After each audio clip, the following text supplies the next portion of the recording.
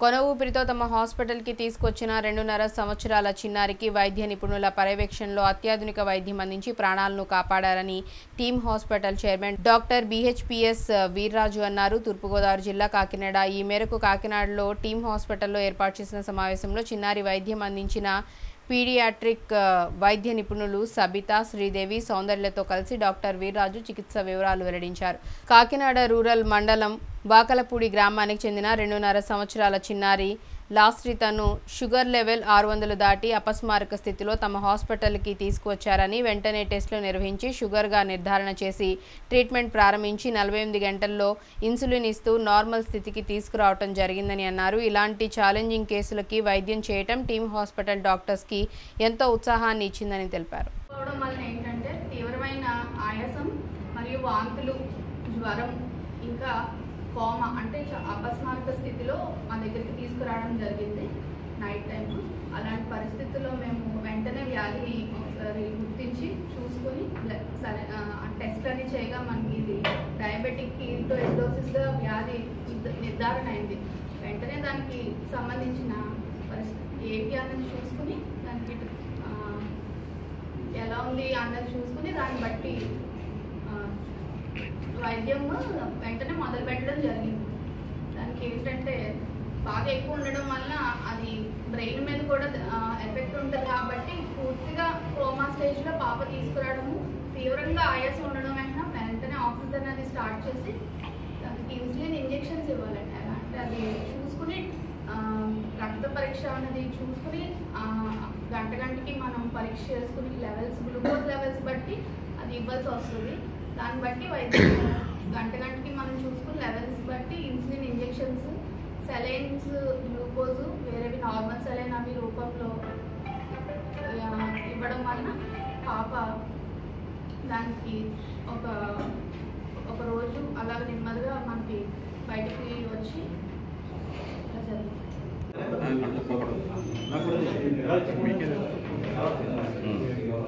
Certificate ఇవ్వట్లేదు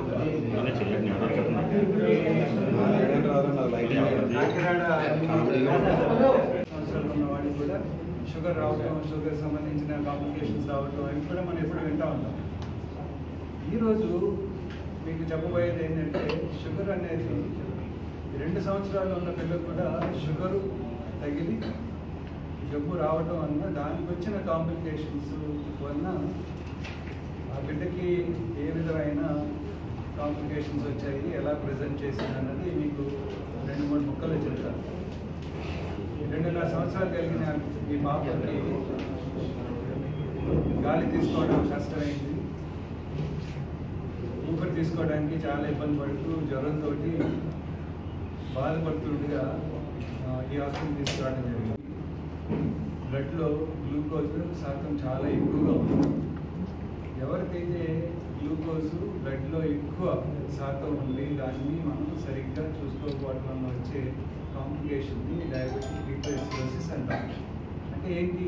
ఈ sugar వల్ల మన బాడీలో చెడు పదార్థాలు ఉండిపోయి మన బాడీకి ఎఫెక్ట్ అవుతున్నాయి. ఉంటుంది తర్వాత మన గుండె మీద ఉంటుంది మన ఆ, శరీరంలో ఉన్న కిడ్నీలు లివర్ మీద ఎఫెక్ట్ అయ్యి బేబీకి చాలా క్రిటికల్ పొజిషన్ వెళ్ళిందన్నమాట ఈ పొజిషన్ నుంచి ఆ అమ్మాయిని ఏ విధంగా బయటకు తీసుకొచ్చారన్నది మన డాక్టర్లు పీడియాటిక్ డిపార్ట్మెంట్కి సంబంధించిన వారిని మీకు వివరాలు తెలియజేయాలని నేను కోరుకుంటున్నాను. సభ్యులక నమస్కారాలు. ఈరోజు ఈ కార్యక్రమం చేయడానికి ముఖ్య ఉద్దేశం ఏంటంటే పీడియాటిక్ ఒక చిన్న పిల్ల రెండున్నర సంవత్సరాలకి ఉన్న పిల్ల మా హాస్పిటల్కి ఏ విధంగా వచ్చింది ఆవిడకి చేసిన ట్రీట్మెంట్ ఏంటి అన్నది మీకు తెలియజేయడానికి ఈ కార్యక్రమం ఏర్పాటు చేయడం పడింది మనం షుగరు డయాబెటీస్ అనేది మధుమేహం అనేది మనకి తెలుసున్న వ్యాధి. ఇది మనం ఎప్పుడు వింటూ ఉంటాం. ఎవరైతే యాభై సంవత్సరాలు అరవై సంవత్సరాలు దాటిన వాళ్ళు ఇది ఎఫెక్ట్ అవుతుంది. దానివల్ల వచ్చే కాంప్లికేషన్స్ మనకి అందరికీ తెలుసు. వాటికి గుండెపోటు రావటం కిడ్నీలు పడవటం కాళ్ళకి అల్సర్స్ రావటం ఇవన్నీ జరుగుతూ ఉంటాయి. కానీ చాలా మందిలో వాటికి ఏ విధంగా జాగ్రత్తలు తీసుకోవాలి వాటికి ఏ విధంగా ఉండాలి కాంప్లికేషన్స్ అన్ని మనం చాలా అవగాహన చేస్తుంటాం టైంలో పాపకి బాగాలేదు పద్నాలుగో తారీఖున పాపకి బాగాలేదు మార్చి పద్నాలుగున. పదిహేనో తారీఖున ఈ హాస్పిటల్కి కోమా స్టేజ్లో అంటే అస్సలు పాపకి పెయిన్ కానీ సెన్స్ కానీ ఏమీ తెలియని టైంలో నేను ఇక్కడికి తీసుకొచ్చాను. పాప మీద హోప్ కూడా లేదు నాకు. అలాంటి టైంలో ఇక్కడ తీసుకొచ్చాను. చాలా మంది హాస్పిటల్లో ట్రీట్మెంట్ బాగుంటుంది అలా అన్నారు. నేను మనీ ఎఫర్ట్ చేయలేను అని తెలిసి కూడా ఈ హాస్పిటల్కి బేబీని సేవ్ చేస్తారని తీసుకొచ్చాను. తీసుకొచ్చినప్పటి నుంచి కూడా బేబీని చాలా కేర్గా చూసుకున్నారు. ట్రీట్మెంట్ కూడా చాలా బాగా చేశారు. బేబీ ఈరోజు ఇంత బాగా ఉండడానికి రీజన్ అయితే వీళ్ళు చేసిన ట్రీట్మెంటేనండి. చాలా బాగా చేశారు. అలానే సిస్టర్స్ కూడా చాలా కేర్గా బేబీ ఫుడ్ తీసుకోకపోతే ఆడిస్తూ కూడా వాళ్ళు ఫుడ్ పెట్టడం ఇలాంటివన్నీ చేశారు.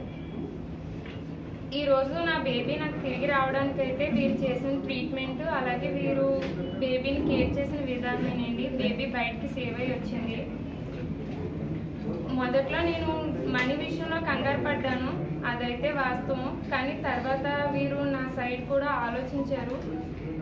అలాగే నాకు ఇలాంటి సిచ్యువేషన్లో ఉన్నప్పుడు నా ఫ్రెండ్స్ ద్వారా కొంతమంది వైరల్ చేసి వాళ్ళు కూడా ఫండ్స్ ఇచ్చి ముందుకొచ్చి బేబీ ట్రీట్మెంట్కి సాయం చేశారు. వాళ్ళందరికీ కూడా కృతజ్ఞతలు. నాకు ఎవరైతే మనీ పరంగా హెల్ప్ చేశారో వాళ్ళందరికీ కూడా చాలా చాలా ధన్యవాదాలండి.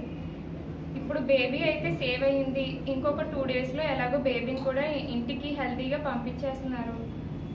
మా హస్బెండ్ క్యాన్సర్ ట్రీట్మెంట్ కూడా ఒకసారి తీసుకురమ్మన్నారు హాస్పిటల్ వారు. చూ మేము ఒకసారి చూస్తాము అతని కండిషన్ ఏంటి ఎలా ఉంది అవన్నీ కూడా చూస్తానని చెప్పారు. కానీ ఎలాగో మీరు అందరూ ఉన్నారు కాబట్టి నా సైడ్ నుంచి ఒక రిక్వెస్ట్ అయింది మా హస్బెండ్ క్యాన్సర్ ట్రీట్మెంట్కి నేనైతే ఎఫర్ట్ చేయలేను మనీ. పాప విషయంలోని సఫర్ అయ్యాను ఆయన విషయంలోని సఫర్ అయ్యాను. పాప కూడా ఇన్సులిన్ ఇస్తూ టైంకి తన డైట్ చూస్తూ తనతో ఎప్పుడూ తన దగ్గరే ఉండాల్సి వస్తుంది. మా హస్బెండ్ ట్రీట్మెంట్ పరంగా తన వెనకాల తిరగాలి నేను చేసి వాలంటీర్ జాబ్కి నాకు వచ్చేది ఫైవ్ థౌజండ్ శాలరీ నేను ఉండేది రెంటెడ్ హౌస్ ఇలాంటి టైంలో నేను ఇంత పెద్ద భారాన్ని అయితే మొయ్యలేను. సో వీలైతే ఎవరైనా నా సైడ్ నుంచి ఆయనకి ట్రీట్మెంట్ పరంగా హెల్ప్ చేయండి. అంటే దానికి మెడికేషన్ కానీ ట్రీట్ సివియర్ కోమాలో వచ్చింది అపస్మారక స్థితిలో. ట్రీట్మెంట్ అంతా మేడం చెప్పారు కదా. Like to conclude the case main thing ఏంటంటే డయాబెటిక్ ట్రీట కీటోఎస్డియోసిస్ అనేది ట్రీటబుల్ కానీ మనం ఎర్లీగా డిటెక్ట్ చేయడం అనేది చాలా ఇంపార్టెంట్ ఈ చైల్డ్ ఎందుకు అంత సిక్ అయిపోయిందంటే చాలా లేట్గా వచ్చింది మన దగ్గరికి. ఒక ఫోర్ డేస్ అలా ఆయాసం వాళ్ళు తీసుకురావడం కొంచెం లేట్గా తీసుకొచ్చారు. దానివల్ల చాలా సివియర్ అయిందనమాట బట్ ఇక్కడ టైంకి ట్రీట్మెంట్ అంతా వెళ్ళడం వల్ల చైల్డ్ చాలా అర్లీగానే రికవర్ అయిందని చెప్పాలి. సో డయాబెటిక్ హీటోయిస్టోసిస్ ట్రీటబుల్నే కానీ ఒకప్పుడు రేర్గా ఉండేది కానీ ఇప్పుడు ఇన్సిడెన్స్ పెరుగుతుంది. ఇంకా చిన్నపిల్లల్లో కూడా చాలా మందిలో డిటెక్ట్ అవుతుంది ఇది. సో ఎప్పుడైనా పిల్లలు వెయిట్ లాస్ అవుతున్నా యూరిన్ అది ఎక్కువ పోతూ ఉన్నా కొంచెం అపస్మారక స్థితిలో ఉన్న కొంచెం ఇన్ఫెక్షన్కి ఆయాసం ఇలాంటివి అయ్యి స్టార్ట్ అయినా పేరెంట్స్ అలర్ట్ అయ్యి పిల్లల్ని వెంటనే హాస్పిటల్కి తీసుకురావాల్సిన అవసరం ఉన్నదన్నమాట. లేదంటే ప్రాణాపాయ స్థితిలోకి వెళ్ళిపోతుంది. బట్ బేబీ అలానే వచ్చింది కానీ ఎర్లీ మేనేజ్ టైమ్లీ మేనేజ్మెంట్ వల్ల రికవర్ అయిందన్నమాట. వచ్చేసరికి ఆల్మోస్ట్ కోమా స్టేజ్లో వచ్చిందండి మన దగ్గరికి. అంటే కొంచెం లేట్గా ప్రెసెంట్ అయింది పాప. అంటే ఫోర్ ఫైవ్ డేస్ ఇంట్లోనే ఆయాసం జ్వరంతో బాధపడుతూ లైక్ ఫోర్ డేస్ తర్వాత మన దగ్గరికి తీసుకొచ్చారు. అప్పటికే షుగర్స్ ఫైవ్ ఎయిటీ సిక్స్ అలా ఉన్నాయి వచ్చినప్పుడు వచ్చేసరికి.